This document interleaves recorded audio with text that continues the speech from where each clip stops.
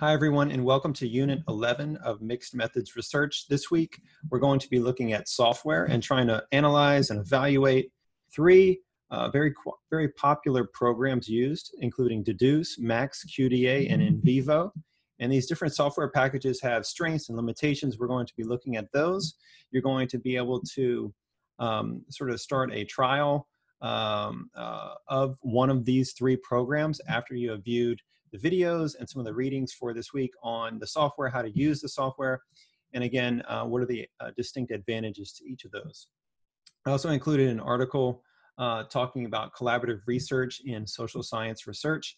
Uh, so there are more emerging ways that people are looking at mixed methods research and thinking about um, how to do this collaboratively in groups.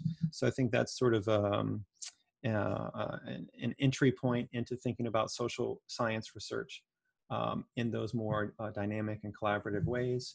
Uh, it's quite commonly done in schools and districts alike to lead towards uh, school improvement and district-wide improvement plans.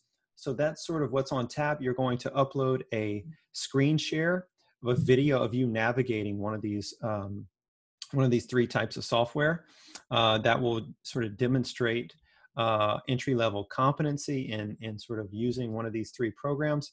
And I look forward to your discussion board posts talking about your own experiences with, um, with said program. Again, whether it's Dedoose, Max QDA, or NVivo, it's your choice. So again, I look forward to those coming up uh, this week. If you have any questions, as always, feel free to reach out. Thanks. Take care.